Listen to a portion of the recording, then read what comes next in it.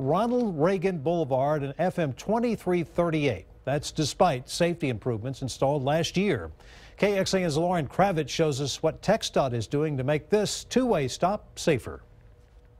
It's like opening a new wound all the time. Every time Lorena McCafferty returns to this spot, such a strong, life, larger than life person. David, Lorena's husband of 23 years, was hit and killed by a driver last June. The car that crashed into him ran a stop sign on Ronald Reagan Boulevard at Ranch Road 2338. This is the problem. There's a stop sign here at Ronald Reagan Boulevard that not everyone can see, especially coming over this hill behind me. And there is not a stop sign here on 2338, but some cars will try to stop. Williamson County added larger stop signs and flashing lights to try to fix the problem, but crashes continue. TxDOT will now add an overhead flashing beacon on Ronald Reagan and another flashing beacon on 2338 to alert drivers always loving life. Lorena believes a traffic light would be the ultimate lifesaver, but this widow will take what she can get. Anything that can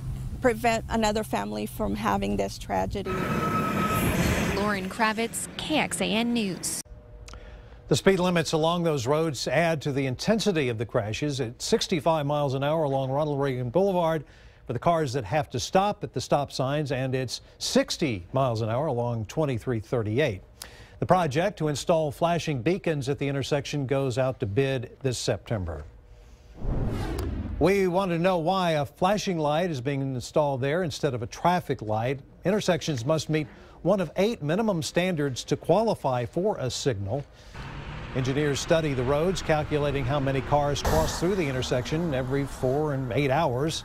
They also evaluate how many pedestrians are trying to cross, whether there's a school nearby, and if other traffic control devices like stop signs or flashing lights have failed to prevent crashes. TxDOT tells us engineers studied this intersection, but it did not qualify for a signal. They decided to install the flashing beacon instead to warn drivers that that intersection is coming up. We like